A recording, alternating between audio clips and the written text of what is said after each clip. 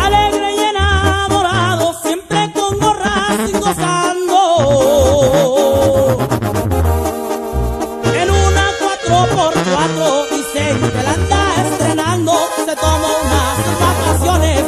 Anda paseando. La gente a veces pregunta en qué trabaja el señor.